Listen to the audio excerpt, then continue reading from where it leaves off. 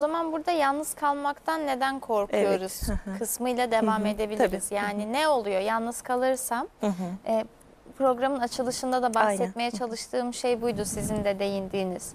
Bazılarımızın sürekli bir planı var Evet. ve plansız da kalamıyor.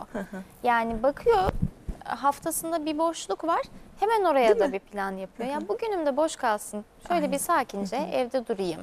Değil evde dursa bile o vaktini de sürekli yine bir şeyle geçiriyor. Ee, kendine iş, iş üreten insanlar vardır yani. Çok doğru. Ev derli toplu, temiz Hı hı. ama evle işi hiç bitmez. Doğru. Ev işi de öyle bir şey ki yapsan sonsuza kadar yaparsın. Yani dolapları indirip bindirirsin, Kışlıklar.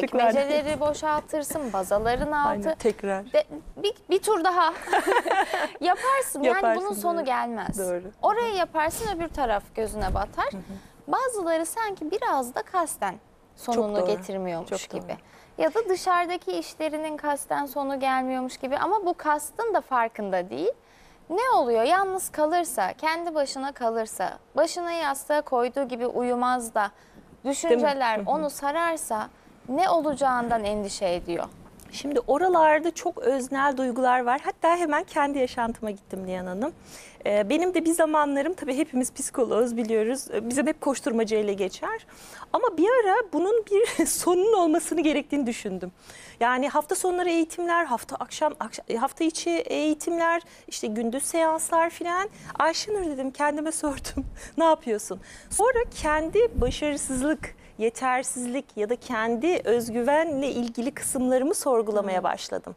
Dedim ki bu koşturmacanın atıyorum şu sertifikayı alıyorsun, şunu alıyorsun, bunu alıyorsun. Peki bunun sonu var mı? Ödüllerin, başarıların, işte kursların, e, işte atıyorum akademik hayatın bunun nereye kadar sonu var? Peki ben orada neyi ihtiyacına karşılık bunu yapıyorum? İhtiyacım ne? Heh, Bizim burada sormamız gereken şey bu koşturmacaların içerisinde. Tabii ki kendimizle baş başa kalamıyoruz ama burada da beni e, o yalnız kaldığımda de bir şeyler yapmadığımda hangi kendi içsel duygularıma götürüyor? Başarısızlık mı gibi, zayıflık mı gibi, yetersizlik ya da güçsüzlük Ee, ya da e, hani bazen vardı ya o işlerin arasında da neyden kaçarız? Bence en önemlisi en sevdiğim konulardır. Yakınlık e, kurmaktan da. Gerçek yakınlık, intimasi diye geçiyor. Şimdi yakınlık korkusu çok ilginç bir korkudur e, Nihan Hanım. E, şöyle siz çok iş yaparsınız, çok insanla birliktesinizdir ama gerçekten o yakınlık kısmında e, bir tarafıyla duramazsınız, o doyumu alamazsınız. Yakınlık ne demek? E, iki kişinin birbirine kendisini şeffaf ve samimi olarak açabildikleri bir e, durum. Yani ne demek? Kendimi olduğum gibi gösterebildiğim bir durum, yakınlık. Şimdi yalnızlık hisseden ama sürekli koşturmacası olan insanların kendini açamadıklarını gerçek anlamda ilişkilerde görüyoruz.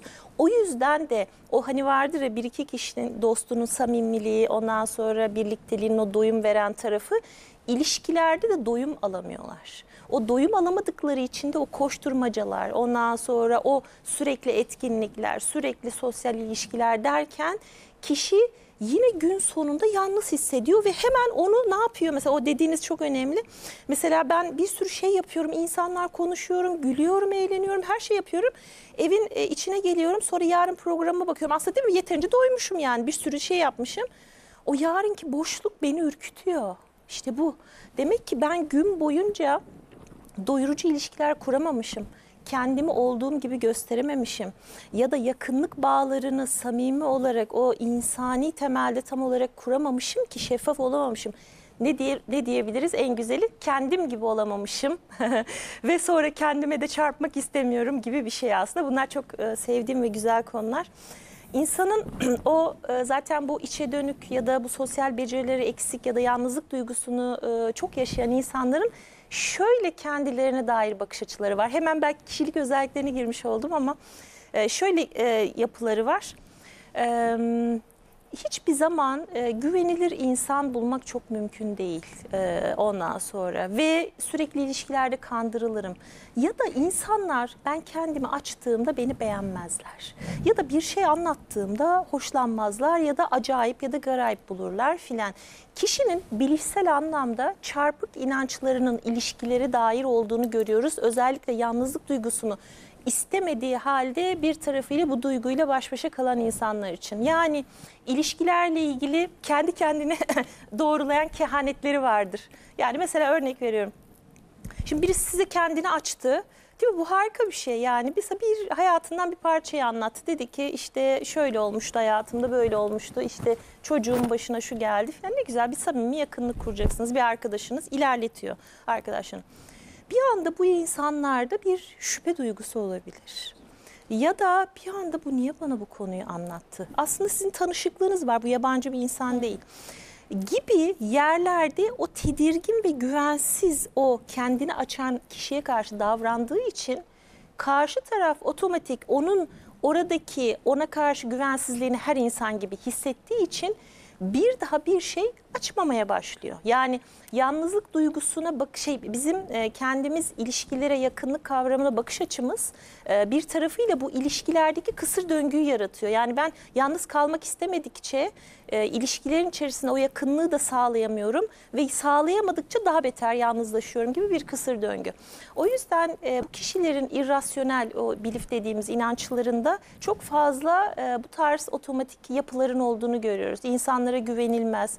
İnsanlar samimi değildir. İnsanlar kendilerini açmazlar. İnsanlar oldukları gibi kendilerini göstermezler gibi. Şimdi bu tarafıyla da doğru mu var? Böyle insanlar da var. Ama şunu biliyoruz ki dünya döndüğüne göre değil mi? Samimi insanlar da var, kendini gerçekten açan insanlar da var ve gerçekten yakınlık kuran. Yoksa dünya yerinde durmazdı öyle diyeyim. Herkes bireysellikten ölürdü. Şimdi buralarda e, kişinin mizaç özellikleriyle birlikte o kendini açamayışı, karşı tarafın açtığında onu kapsayamaması gibi özellikler yalnızlık duygusunu ne yazık ki pekiştiriyor. Aile ortamı, oradan girelim. Aile ortamında da e, anne babanın e, bu konularda teşvik edici olmaması, duygularını en güzeli duygularını ifade etmede teşvik edici olmaması ya da kendini açmasında bu ne biçim duygu? Böyle hissedilir mi? Ya da ne biçim davranıyorsun? Böyle davranın hani çocuğun hani herkesin böyle şeyi vardır ya Nihan gariplikleri yani değil mi? Mesela birisinin bir yeme tarzı vardır. İşte birisinin atıyorum e, ne bileyim bir kalem tutma tarzı vardır. Birisinin bir eşarp bağlama stili vardır filan. Hani herkesin bize farklı gelen özellikleri vardır ama bazı ebeveynler istiyorlar ki çocuğum benim istediğim gibi dört dörtlük olsun. Eşarp böyle bağlanır. Bu renk bununla uymaz. Bardak dediğin şöyle olur ve buraya koyulur gibi. Böyle şeyler oluyor. Yaşam felsefeleri oluyor. İşte kız dediğin şöyle olur, erkek dediğin böyle olur. Çocuk öyle aile ortamlarında doğallığını yitiriyor. Ee, Böyle çocukların bir tarafıyla şöyle olduğunu da görüyoruz. Yeter deyip böyle asileşip yeter ya sizinle mi yaşayacağım ben böyle niye bir her şeyime karışıyorsunuz diyen ya da uyum sağlayan ve onları model alan bir mükemmelliyetçilik içerisinde kaygıyla, anksiyeteyle baş edemeyen sıkışmışlık duygularıyla yaşadıklarını görüyoruz. O yüzden çocuklarımızı bize tuhaf gelen ya da garip gelen hani zararı yoksa hiç kimseye o özellikleri de sevebilmeyi de öğrenmemiz gerekiyor. Onun şöyle bir huyu vardır. Ses tonu biraz yüksektir. Hani vardır ya herkesin öyle özellikleri. O biraz kısık konuşur. İşte kelimeleri şöyle yapar. Bazen üzücü olarak görüyorum. Ee, anne babalar tabii bir tarafıyla da o sosyal vitrine ve imaja yani her anne babada vardır bu duygu da törpülememiz gerekiyor. Ee, o vitrin kısmına çok e, önem şey yapıyorlar. İşte benim çocuğum böyle duygusal duygusal konuşuyor. Dü- dünya kurtlar sofrası. Bunu ne yapacaklar bilmiyorum ilkokulda. Biraz güçlü olsun falan diye yapıyorum diye anlatıyorlar ama bunun bir dengesini bulmak lazım. Böyle çocuklar çok hırpalanıyorlar şu anlamda ebeveynlerinde ilk yalnızlıkları başlıyor aslında. Ebeveynleri tarafından dışlanıyorlar.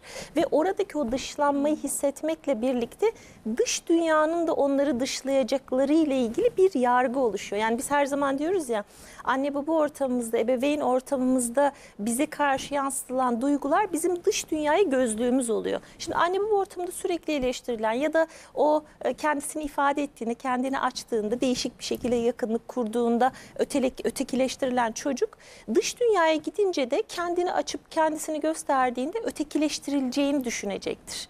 Bu otomatik hiç e, şaşmaz. Ya da öbür türlü mesela tam asi olan çocuklarda da şöyle oluyor. Beni nasıl olsa hiç kimse kabul etmeyecek. Beni herkes garip görecek. Ha öyle mi? Ben daha da bunu arttırırım. Mesela o e, problem davranışı olan çocukların iki, iki taraflı olduğunu düşünüyorum. Ya içe dönüp depresif tarafa geçiyor ya da aşırı nasıl diyeyim e, böyle sağlıksız asi davranışlar gösterip anne babayı bıktırıyor. Çünkü orada da şey var. Beni böyle kabul etmiyorsunuz ya ben bunu arttırarak gideceğim. Yani örnek veriyorum işte e, beni şu konuda eleştiriyorsunuz ya çarpı 3 çarpı 4 yapacağım gibi çocukların inatlaşmalarını görüyoruz. Ha, o yüzden bu yalnızlık duygusunun gelişim dönemlerinde de anne baba tarafından çocuğun olduğu gibi kendisini ifade ettiği gibi olmasına fırsat verilmesi gerekiyor ki çocuk istemediği halde yalnızlaşmaya gitmesin.